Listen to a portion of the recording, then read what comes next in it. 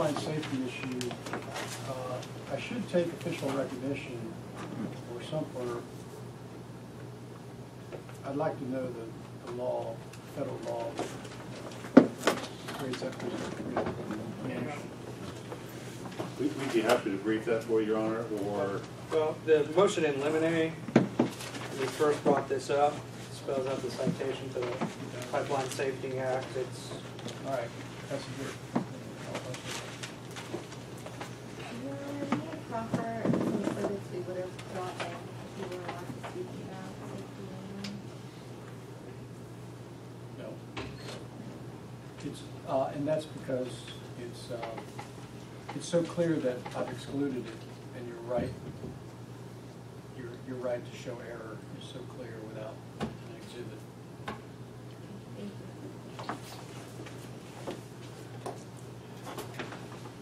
Your Honor, we're finished.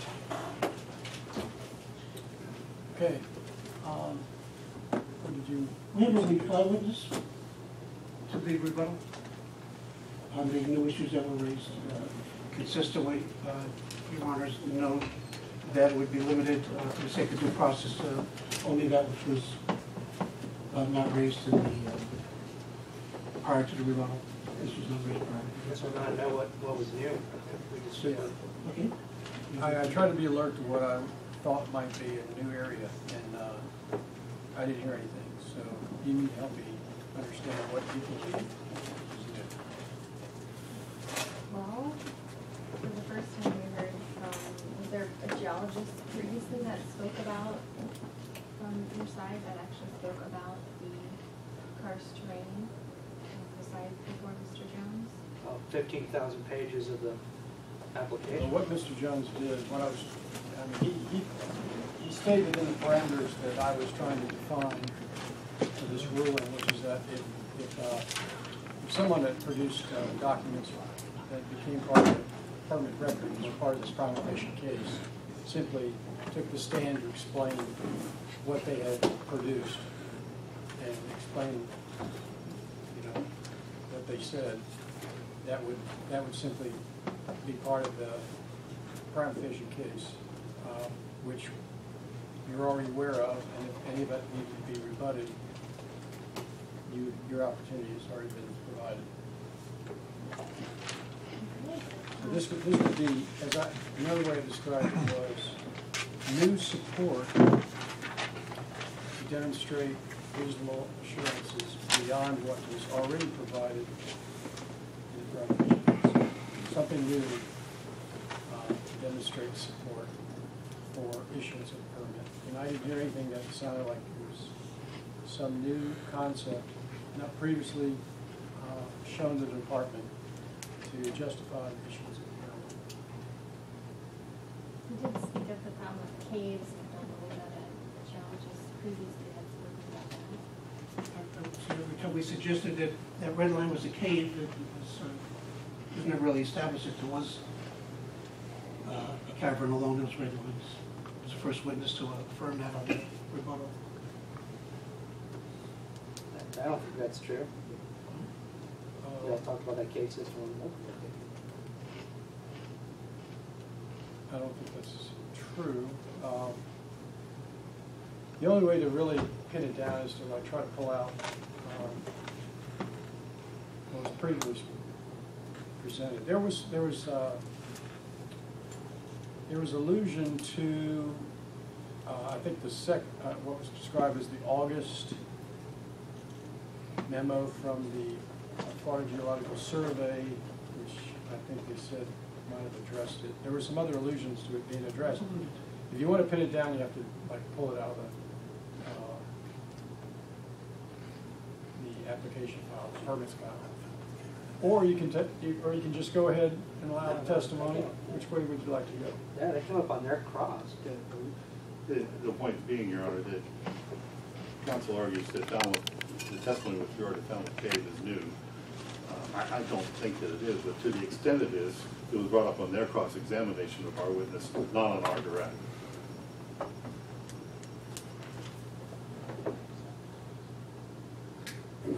I mean, Judge, they, I don't think that matters. They all, if it's true rebuttal, you always have the, the- the opportunity to put your own person on it, uh, and not rely only on the answers you were able to get in cross-examination. What, what, I'm, I'm, I'm, I believe it was part of the case presented, but, but the only question, the question in my mind is because there was allusion to it being addressed, but I don't know what the, that's a huge file. We, we two ways to deal with it. Uh, You can uh, show me that it's discussed in the uh, material somewhere, just pull it out, show up like Mr. Jones' documentation or uh, Florida Geological Survey, where we're discussing it, and uh, then I will be confident that to uh, recall it already in evidence. Or, or you can just let them, let it proceed and take your shot, whatever you want to do. I think we just have a few minutes, Your Honor, and it's, like you Yes. say, the limit is. Um, Your Honor, the, um, Hold on. So on the record, on the record, we should uh, clarify before we go off for a break, uh, what is it that you're, exactly you're you're saying you think is new? Whether Falmouth Cave was addressed, considered and addressed? is that what you're saying? Sufficiently considered and addressed in relation to the pipeline as well as, um, uh, Mr. Jones also said that he believed that there is no water flow beneath the surface or beneath the bottom of the river.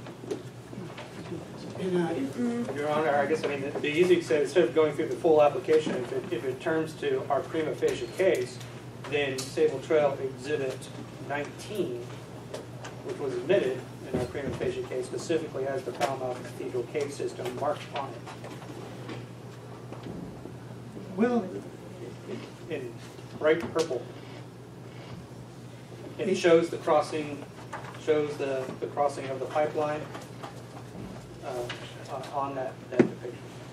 All right, the testimony went along these lines. It said uh, that there's no danger to the Falmouth Cave system because the uh, pipeline will be at shallow depth and the uh, caves are at at great, much greater depth, 100 feet, approximately 100 feet. If that did not appear in the filings before, so that for the first time, that separation was made part of the support for your case, then they would have the right to, uh, in- you know, get into that kind of thing. One second, Your Honor. Might I add, Your Honor, that also, uh, Mr. Jones, I believe, was introduced a different type of grouting, aside from the concrete-like grouting that had not been referenced before.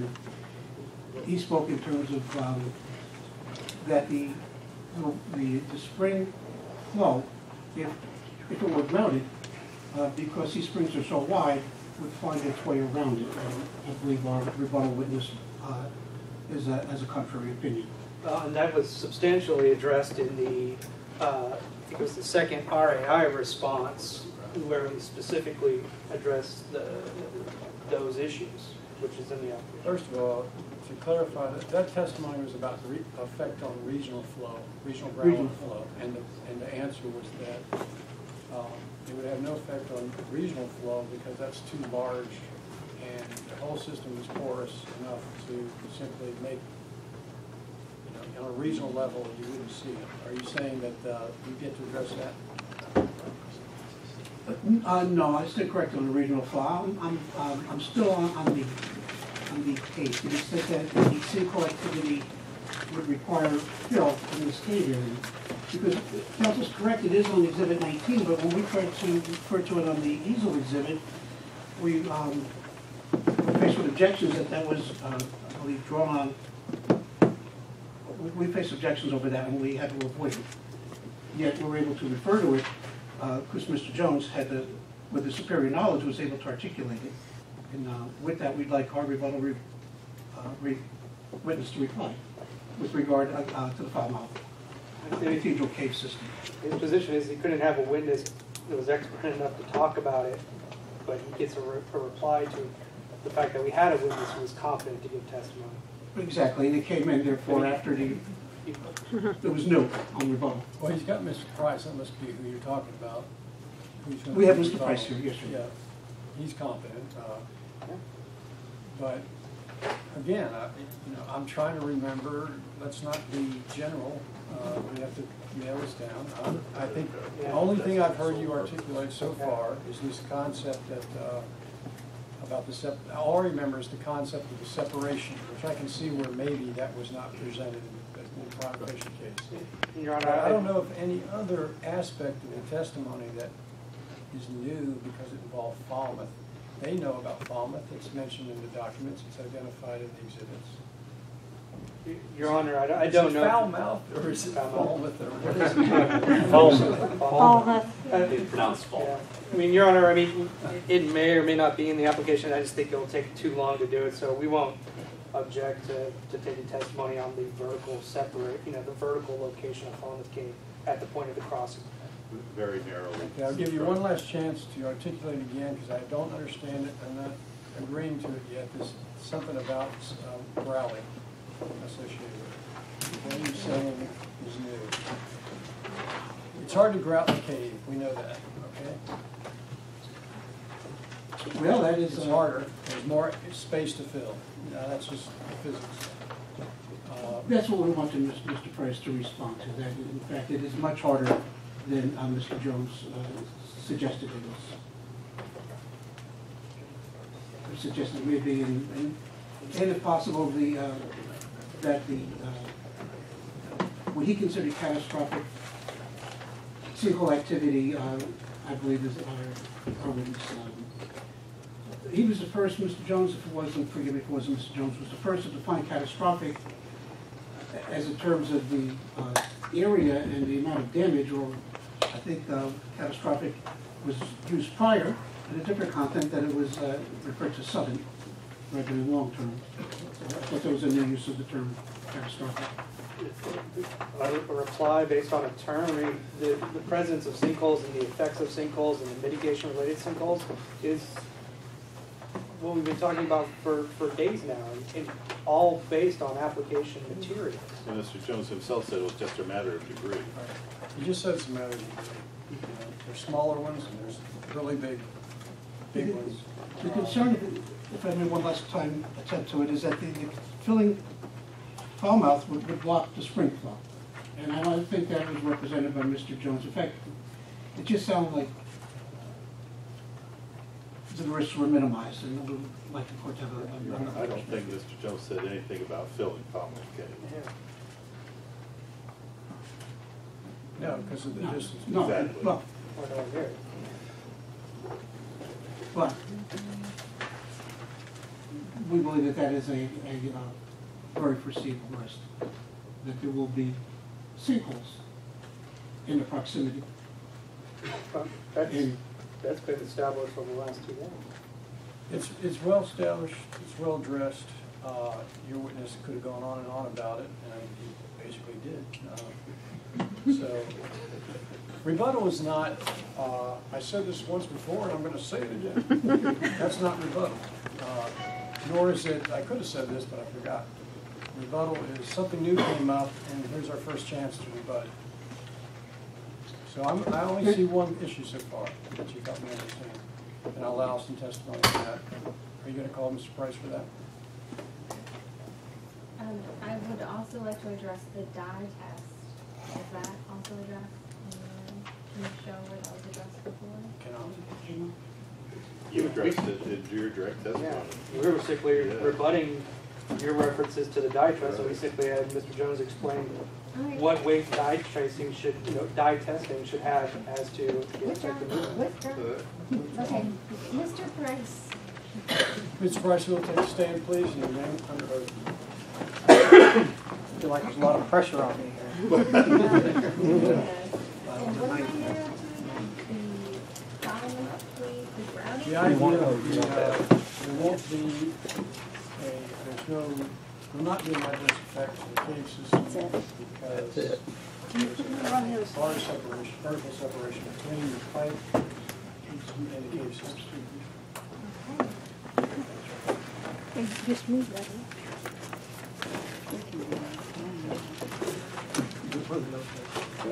All right.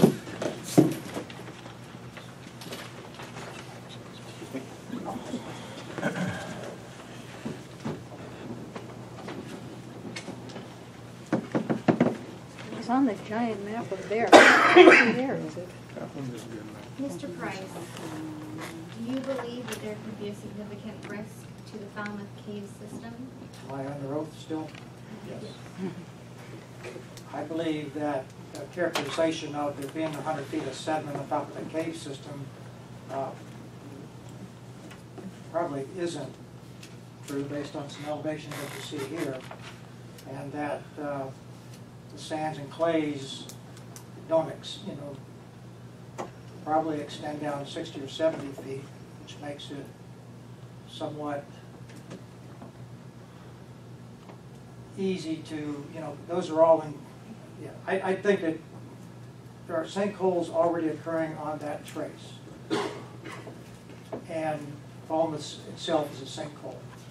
Limestone exposed, I've been there many times, there's limestone exposed in that sinkhole. So that sink, that limestone is not hundred feet down from the surrounding elevations. And, uh, so the closer that limestone is to the surface, the easier it is to have a sinkhole occur. And there are many, many uh, stormwater ponds that are only dug four, five, six, seven feet deep that cause changes to occur and sinkholes to occur. And if one did fall in, if it did, I'm not saying it would, if it did fall into that cavern system, their karst mitigation plan couldn't uh, readily resolve that problem. If their, if their solution is that you're, you're pumping grout into that cavern, because cavern's been dug before, so it's fairly large and extensive. The grout would essentially plug that conduit system. It is the main conduit system, and it would block the flow. And yes, it would go out into the surrounding limestone and find its way, but it'd be very slow, so the actual flow to the spring could definitely slow down because of a blockage of that magnitude. Because the only way to actually stop the sinkhole from widening and widening and widening is to, is to make sure that the limestone cavern is filled all the way to the very top of it, so there's no more room for anything to fall in. So that's my short answer to that question. Thank you, I believe with the narrow limits I've been given, that is about all I can ask, so thank you. Sorry. Any thoughts?